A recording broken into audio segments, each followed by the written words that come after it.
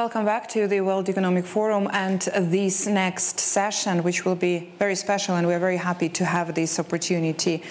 This is a session that will be a conversation where we're going to be discussing women's rights in Iran for the next 30 minutes.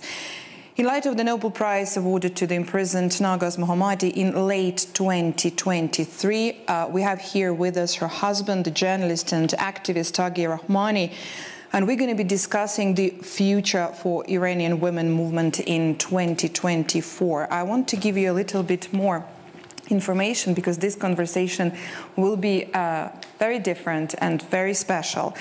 Uh, Taghi Rahmani is a former political prisoner. He spent 14 years in jail. This is the longest for Iranian journalists. He is a censored journalist uh, who's been fighting ever since and not stopping. He's now based in uh, Paris with the family, and we also have this great luck here to have. Uh, with us, uh, the lawyer representing the family and a family friend, Shirin Ardakani, who is on stage. And uh, Shirin will be helping us with the translation. This will not be the simultaneous translation, this will be consecutive translation. We'll be taking some in our time also to understand, and Shirin would help us to facilitate these conversation and to make sure that it works at the best possible way because this is the subject where we want to take our time and also focus on the importance of it. Thank you so very much for being. Thank you. Um, let me ask you for the for the first question. Following the events of um, 22 and 23, what is the current status of the women life freedom movement today? آره الان داری میپرسه که خب بعد از این جنبش زن زندگی آزادی الان چه صورتی فیگور گرفته تشکر خیلی تشکر میکنم از شما که این فرصت رو فراهم کردید First of all, I'm really glad to be here and uh, many thanks for this uh, very great invitation. برای اینکه یه مقدار خوب توضیح بدم از وضع زنان ایران این جواب سوالی خود مفصله Uh, and uh, it, this is a very important question, uh, women rights in Iran, and I will take my time to explain this. حکومت ایران بر اساس تبعیض بنا شده و این تبعیض در قانون اساسی جمهوری اسلامی نهادینه شده. ما سه تا تبعیض بزرگ در جمهوری اسلامی داریم. یکی تب... یکی ظلم سنفیه یکی ستم فرهنگی و مذهبیه و یکی تبعیض جنسیتیه که زنان رو مورد هدف قرار میده. Um, you know, the political system in Iran is built on discrimination. The constitution of the Islamic Republic of Iran justifies uh, discrimination, which includes class oppression, cultural and religious tyranny, and gender based discrimination against uh, women. And I will focus uh, on the issue of women, especially. در اینجا من به مسئله زنان میپردازم در کشوری که تعداد دانشجویان دختر از دانشجویان پسر بیشتره در کشوری که از 22 میلیون سرپرست خانوار 3 میلیونش زنه در کشوری که به لحاظ اجتماعی زنان مهر لیاقت خودشون در امور مختلف به شکل چهره های فعال در مشاغل نشان دادن This is a country where the number of female university students surpasses that of males, and approximately 3 million women are the breadwinner of head of household. So the women have a strong social and economic presence everywhere in the uh, Iranian society and have fought to demonstrate their capabilities at every level of society. جمهوری اسلامی تبعیض همه جانبه به زنان اعمال می‌کنه. تبعیض الان تبدیل به ستیز شده. یعنی با زنان و جامعه در حالت جنگه.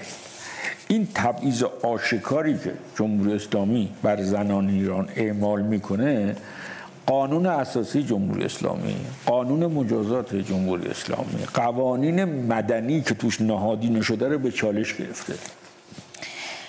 Yet the Islamic Republic imposed a set of wide ranging discriminatory written and unwritten rules against Iranian women. Much of it are the host of hidden bases and in many other cases an open warfare against them. As I mentioned, it starts from the discrimination that is uh, in the constitution of Iran and in the Islamic penal code. So that's it's the main issue issue of Iranian uh, female is the, the Islamic law actually. همه جای این جامعه عرصه این چالشه. در ادارات دولتی در مشاغل آنلاین. همه جا زنان حضور محسوسی از لحاظ مدیریتی از خودشان نشان میدن. و طبیعتا وقتی این اتفاق میفته باید قوانین نرمش ایجاد کنن کوتاه بیان. ولی برعکس جمهوری اسلامی بر اصرار داره بر فشار بیشتر و ستیز بر زنان و فشار جنسیتی. و این عدالت جنسی بهش میگه عدالت جنسیتی. و رهبری جمهوری اسلامی برابری جنسیتی قبول نداره به اسم عدالت جنسیتی تبعیض اعمال می‌کنه. The very presence of women in public and private sectors, in cultural and social spheres, is a real challenge to this system of gender based oppression. In response to this presence, governments insist on stricter enforcement of their Islamic law, leading to uh, hostility against women in every aspect of their life, their daily life. The leadership of the regime considers gender equality as an affront to his rules and thus openly promote gender-based injustice and has codified in, in their own daily laws. But Iranian women are restricted from pursuing certain academics, fields and professions. زنان ایرانی برخی از مشاغل را نمیتوانند داشته باشند مثلا رئیس دادگاه نمیتوانند بشوند مگر در موارد خاص. زن ایرانی نمی‌تواند استاندار فرماندار وزیر یا معاونت یا رئیس مجلس قانونگذاری شود. در صورت که این توان را دارند. اما در سمت مشاور ریاست جمهوری که به تایید مجلس نیاز ندارد منصوب می شود اما قانونی نمی‌توانند برخی از مشاغل را داشته باشند. نمی‌توانند کاندیدا برای مقام ریاست جمهوری شوند. نمی‌توانند در انتخابات مجلس خبرگان رهبری که قدرت زیادی دارد کاندیدا بشوند. نمی‌توانند عضو شورای نگهبان شوند. نمی‌توانند نمی‌توانند کاندیدای رهبری نظام شوند. Iranian women are restricted from every aspect, professional aspect. They are effectively barred from being a judge. They cannot be a judge. They cannot become governors. Appointing female cabinet ministers has been met with furious backlash by regime loyalists. The closest regime has allowed women to play a role in executive branch uh, of uh, ministry, cabinet ministry, uh, but it's not possible now for uh, uh, uh, an Iranian woman to be judge, and some of profession are completely prohibited for, for them.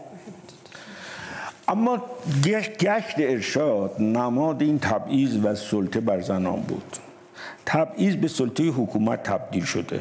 مسئله سلطه در زندگی زنان کاملا وجود داره. ولی مقابله زنان در مقابل این تبعیض بسیار مهم است. ما گفتیم که جمهوری اسلامی از سلطه به ستیز رسیده است. یعنی با زنان و بخش زیادی از جامعه به مقابله رسیده است. ولی این مقابله به خاطر مقاومت زنان مقاومت, مقاومت جامعه در مقابل تبعیض جمهوری اسلامی است. یعنی دیگر جامعه در مقابل تبعیض مقابله می کند ما به مرحله ستیز رسیدیم. گرش ارشاد it's a morality police patrol in Iran, symbolize the regime's endless quest for dominating uh, women. The issue is not just about forcing women to cover themselves when they step out of their house. It's about the daily reminder of presence and power of the totalitarian system on women. Uh, by the uh, obligatory uh, and compulsory hijab. با وجود سرکوب جنبش زنان جنبش در خیابان اما مقاومت ادامه دارد. روزی نیست که ما شاهد مقاومت زنان در جامعه نباشیم. انعکاس اون را در فضای آنلاین شاهد هستیم. مقاومت نظام برای اعمال محدودیت بر زنان از جمله حجاب اجباری به خاطر مقاومت زنان و جامعه به ستیز کشیده شده است. و از اون جایی که سلطه بر زنان اعمال دیکتاتوری به مقاومت جامعه بیشتر کرده است.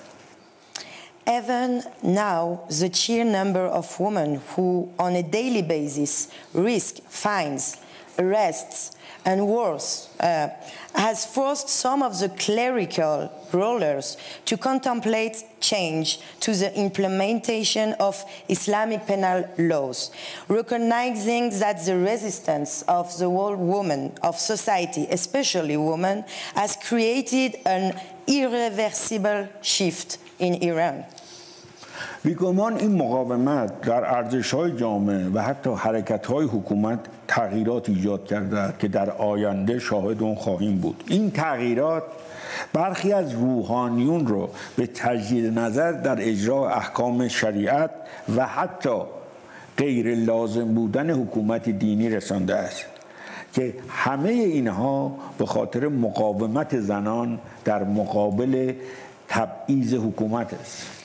The Iranian government is starting to realize uh, women, Iranian women are really hostile, hostile to this law, the, uh, he, the, the, law who install uh, compulsory hijab.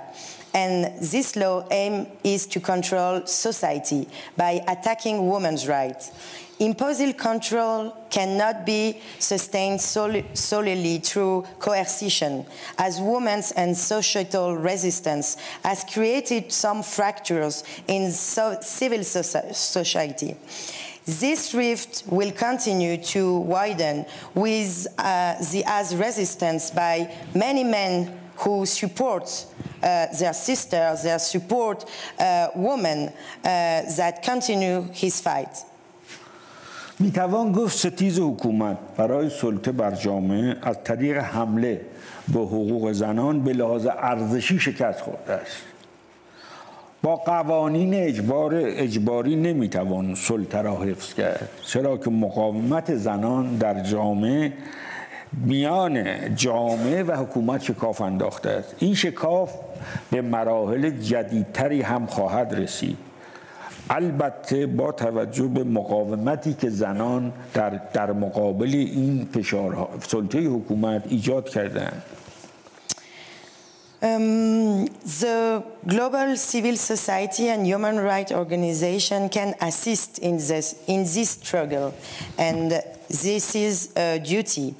Uh, in particular, providing unrestricted access to information and about the uh, struggle of Iranian women.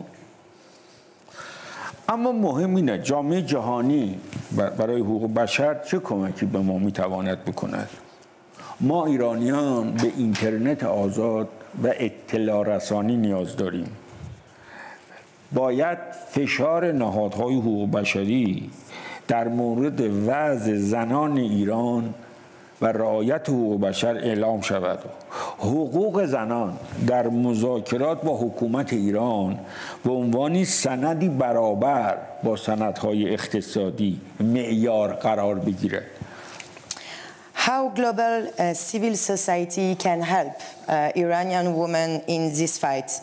Providing unrestricted access to information and the freedom of internet for all Iranian is really uh, crucial.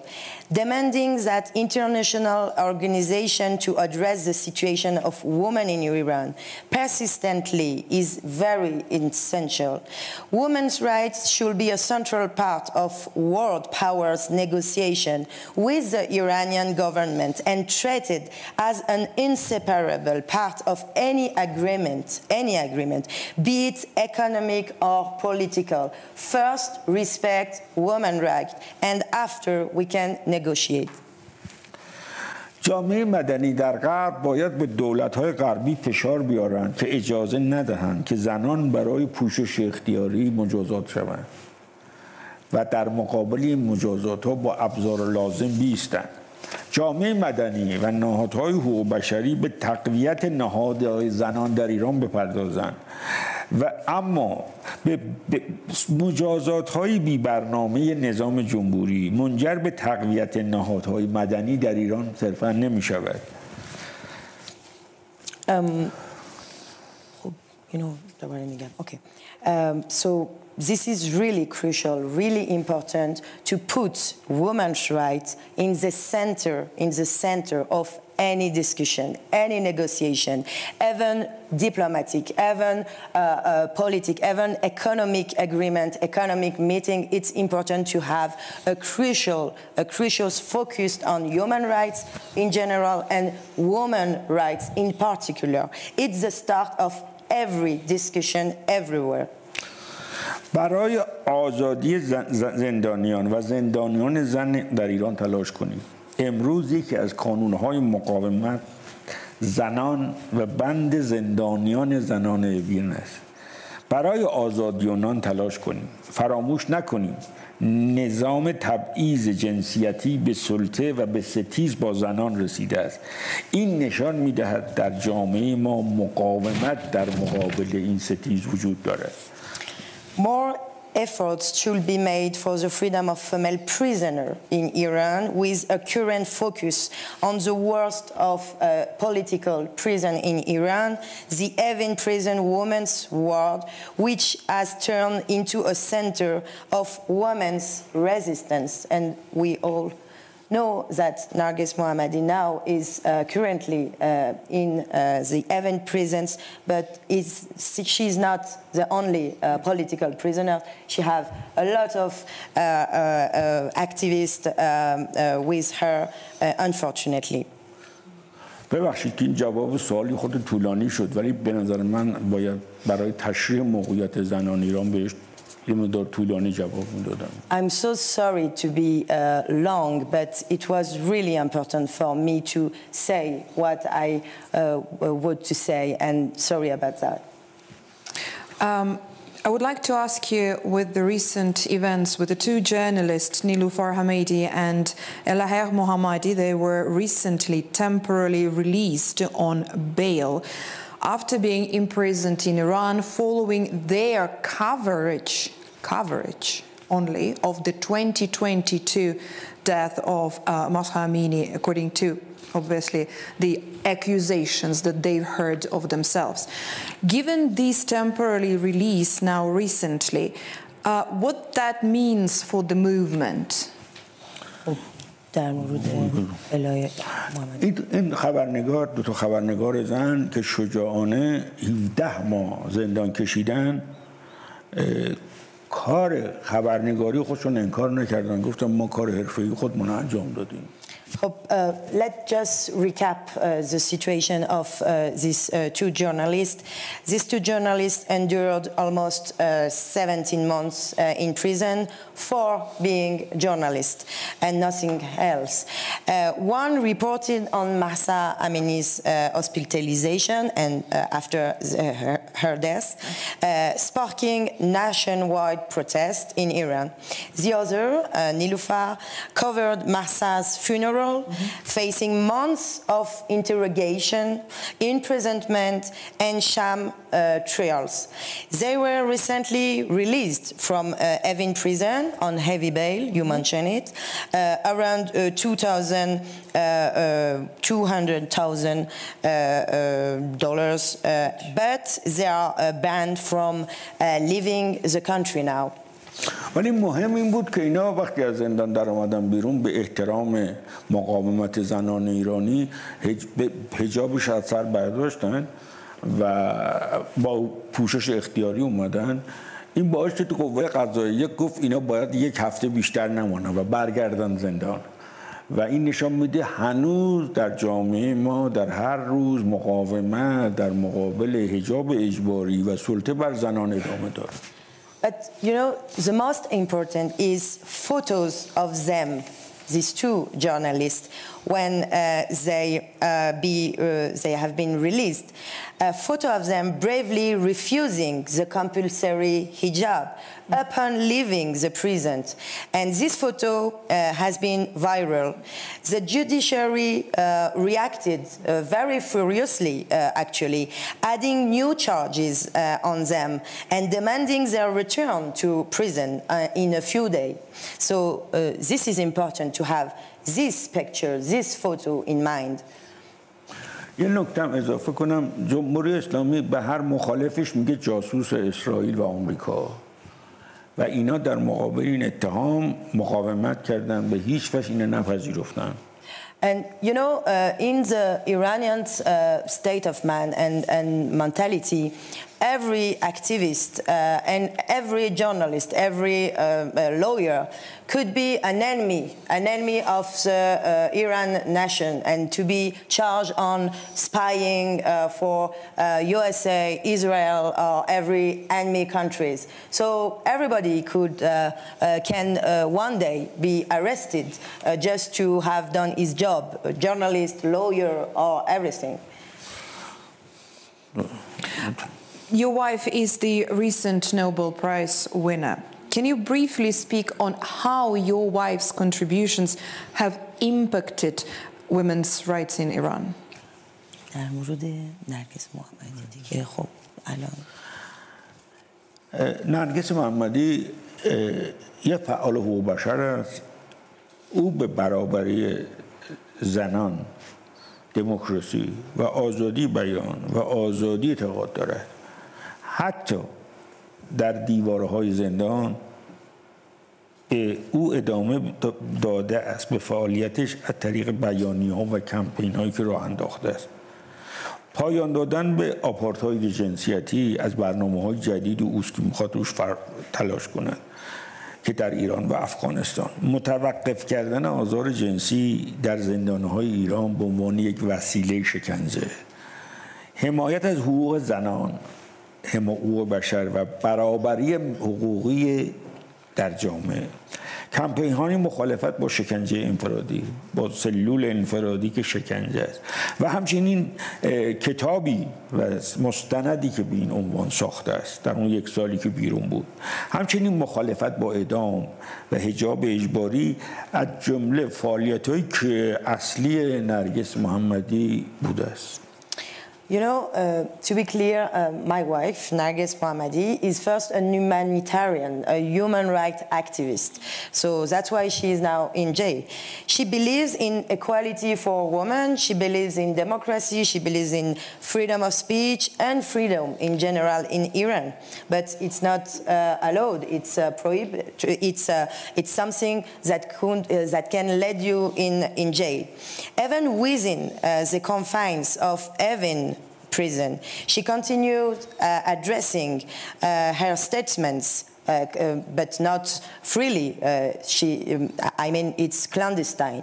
Um, she continued uh, to give some statement campaigning, ending gender apartheid in Iran, and in Afghanistan, stopping sexual uh, harassment of uh, women, uh, even if uh, they are in jail, uh, his cellmates, advocating for women's rights, human rights, and equality.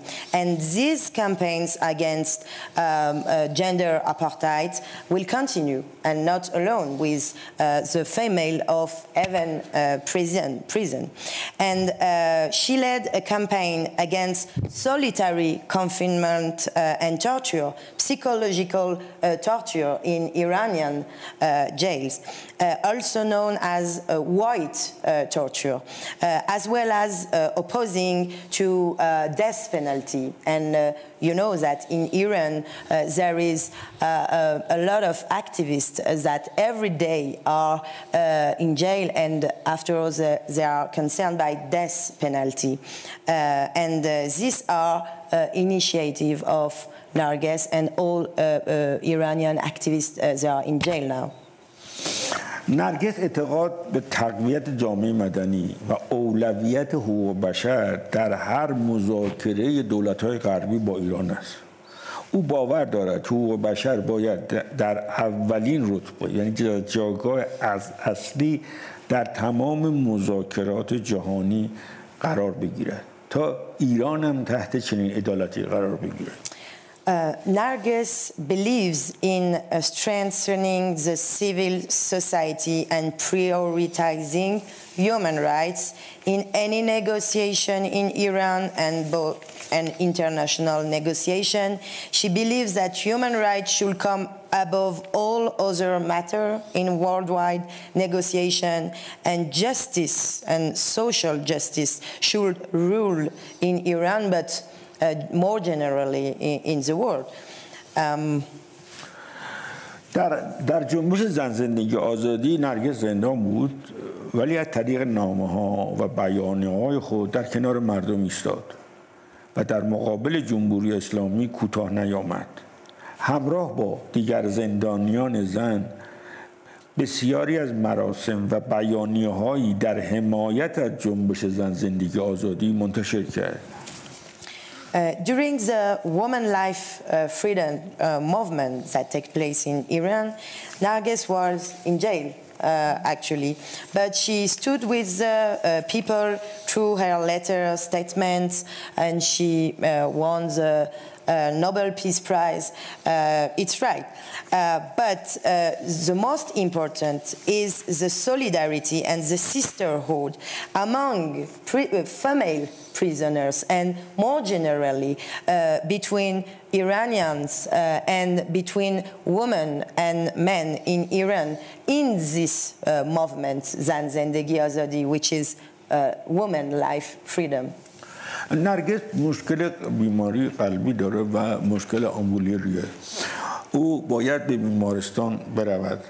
وقتی که مقامات بیمارستان از او خواستن که میبرنش بیمارستان ولی با هجاب اجباری باید برود اون نپذیرفت گفت به خاطر مرگ آرمیتا گراون و گفت به خاطر کشته شدن زنان زیادی و مردان زیادی برای آزادی من به خاطر همبستگی با اینا به هیچ وجه حاضر نیستم که با حجاب اجباری به بیمارستان برم.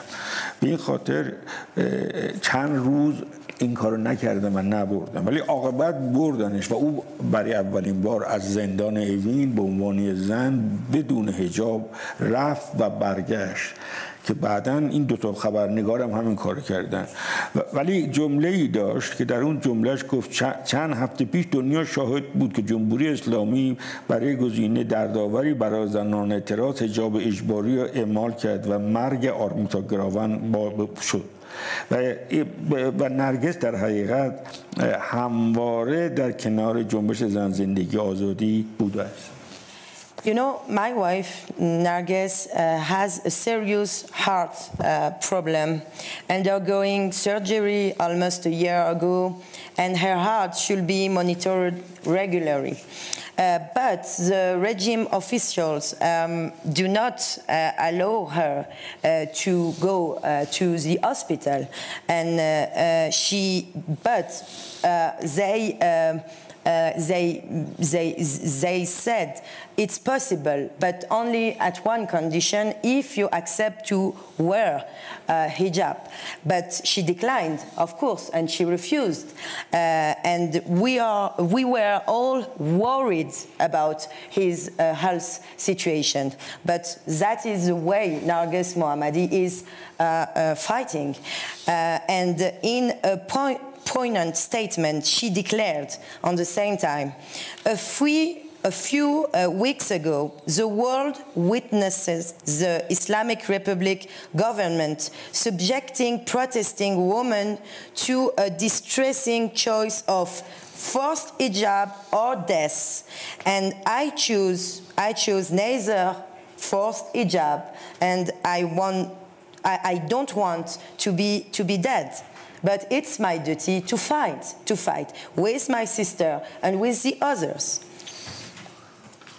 نرگس نه سال زندان کشیده تا الان.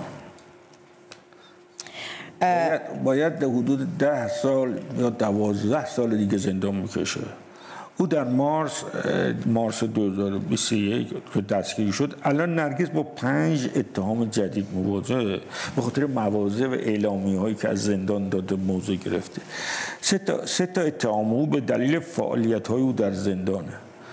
کلیه اتهامات او مجموعا الان به دوازده سال سه ماه 154 ضرب شلاق چهار ماه ممنوعیت از سفر دو سال تبعید و انواع اقسام محرومیت های اجتماعی است Narges has spent almost nine years of her life in prisons of the Islamic Republic of Iran, and she has almost 10 years more to spend in prison as every day they add to her new sentences. Since March 2028, um, Narges Mohammadi has faced five convictions, three of them due to her activities inside prison, inside jail. Her total convictions amount uh, to um, 12 years and, uh, and three months of imprisonment and um, 155 lashes uh, and four months of travel ban from Iran two years of exile uh, and various social and political prohibitions. من آخرین بار که نرگس دیدم دوازده سال پیش بود. یه شب سرد در زمستان از هم جدا شدیم. من اومدم به خارج و اون نیومد و بچه ها خوابیده بودن. الان نرگس نه ساله که بچه ها رو ندیده و تقریبا دو ساله که صداشون هم نشنیده چون امکان تماس تلفنی نیست. در در اوایل دسامبر 2003 بیش از جایزه نوبل مقامات زندان در 8 آذر ارتباط تلفنی اونو با خواهر و برادرش در, در تهران و مشهد قطع کردن. و او از 8 آذر امسال حتی نمی‌تواند با پدر با خواهر و برادر خودش گفتگوی تلفنی یا ملاقات داشته باشه 18 زن دیگه هم به خاطر همین موزگیری شامل همین محدودیت هستند. در کل در کل فشار بر زندانیان سیاسی افزایش یافته. بخصوص در بند زنها ولی مقاومت هم هست. 61 زندانی سیاسی زن در زندان هستند که چهار زن بیش از هفتاد سال سن دارن. ده نفر اونها بیش از شهست سال سن داره. بسیاری از اونها ممنون ملاقاتن و تماس تلفنی با خانوادهاشان محرومن. زیرا که حکومت در مقابل مقاومت اینا مقاومت نشان میدهد ولی اینا همچنان مقاومت میکنن To conclude, because I need to conclude, um, I want to, to say that It had been a long time. I have not seen my, my wife, uh, 12, 12 years actually. And it's been years since the last time uh, I have met my wife. My children, Ali and Kiana, haven't met their mother uh, for uh, eight years. Uh, they haven't heard uh, her voice for almost two years because uh, she cannot speak uh, with the phone. Um, and since the start of December, before the Nobel Peace Prize ceremony, the prison authorities cut her contact telephone completely with outside. Um, her visitation has been banned, and she cannot call even even her father in Iran. Communication has been much more difficult with her after she won the Nobel Peace Prize. But overall, the pressure has increased not only on Narges Mohammadi, on all political prisoners in Iran, and more especially about women's uh, uh, political prisoner alongside her her uh, cellmates uh, also. And just to say, four women are over uh, 70, 70 years old, uh, with alongside Narges Mohammadi, and 10 of them, uh, the political uh, prisoners, the female, are over 60 over 60, and many of them uh, have been prohibited uh, from making phone calls or, uh, to their families as prison authorities employ the tactic of cutting off phone and visitation privilege to uh, any uh, uh, of their family outside. outside. Mr. Rahmani, I'm afraid I have to wrap this up now because unfortunately we don't have more time, but I also wanted, wanted to conclude from my side that the fight of yours, of your wife, has been taking such the heaviest possible toll on your family with the children not seeing the mother was you also not being able to communicate. And of course the consequences that are also being felt by her and other prisoners especially after the Nobel Peace Prize. At the same time good it is good to have this conversation here with you in Davos with this audience, with the people who are here at the annual meeting, because this fight is being seen and is being recognized with the Nobel Peace Prize, uh, with the uh, European Parliament awarding the Sakharov Prize to the Iranian women. It is being recognized. Thank you so much for being here, and thank you so much for facilitating this conversation. Thank you. Thank you very much.